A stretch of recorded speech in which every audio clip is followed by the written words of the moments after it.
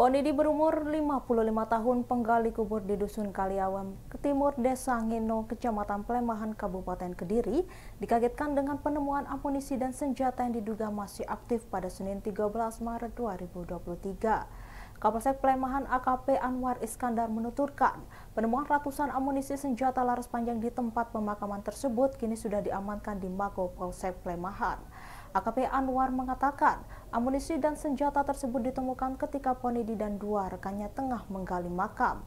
Mereka tak menaruh rasa curiga saat melakukan proses penggalian. Ketika menggali dengan kedalaman 30 cm, Ponidi dikejutkan dengan adanya beberapa amunisi yang sudah berkarat namun diduga masih aktif. Karena penasaran, akhirnya penggalian terus dilakukan. Kapolsek Plemahan menjelaskan, setibanya petugas di lokasi kejadian, garis polisi langsung dipasang di sekitar area galian. Tujuannya agar tidak ada sembarang warga yang masuk area galian tersebut. Sementara total yang ditemukan ada sekitar 200 butir lebih amunisi dan satu buah amunisi senjata mesin berat. AKP Anwar mengaku temuan amunisi dan senjata tersebut dilaporkan ke Polres Kediri dan Brimob Kompi C Kediri. Sementara amunisi diduga masih aktif ini diamankan ke Mako Polsek Plemahan.